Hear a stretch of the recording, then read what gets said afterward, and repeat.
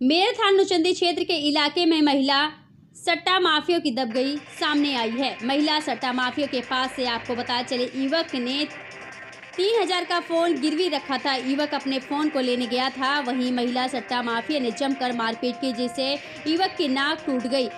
आपको बताया चले कि सूचना पर पहुँची पुलिस ने युवक को जिला अस्पताल में करवाया भर्ती। प्राइमरी के न्यूज़ चैनल के लिए आप देख सकते हैं मेरठ से शहजाद खान। क्या नाम है तुम्हारा? मेरा नाम अर्चित है जी।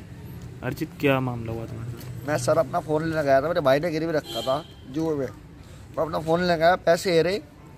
सर ये रहे पैसे मैं अपना फ़ोन लेने गया तो उन्होंने कह तेरा फ़ोन नहीं है कोई भी। तो मेरे साथ पंच मार के मतलब पंच मारा मेरे अंदर। मेरे नाक पंच मारा नाक भी टेढ़ी कर दी। किसने मारपीट की है? किसके पास रखा मैं दलित बिरादरी हूँ। मोमडन के यहाँ फ़ोन रखा था। किसके तो पास रखा था? करे खाला के पास। किसके पास रखा था? खाला के पास रखा सर। दस नंबर गली में। ढवाई नगर। में वहाँ पर दो नंबर काम भी चलते हैं अनलीगल काम भी चलते हैं साहब। तो मेरी पिटाई किसने करी क्या नाम उनका? मुझे नाम नहीं मालूम।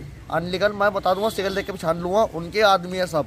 चार पाँच लम्डे हैं वहाँ पे। मैं सबके सिगल बता दूँगा ये ये है ये ये है। क्या चलता है वहाँ पर? वहाँ पर जुआ चलता है चुराई चलती है मतलब लोंडेबाज चलती है दो नंबर काम चलते हैं सारे। सारे दो नंबर काम चलते चलाता है? सब। वो एक लेडीज़ चलाती है दो तीन लेडीज़ है सब लेडीज़ चलाती क्या है नाम है एक का खाला है एक का रेशमा है सब अनलीगल काम चलते हैं।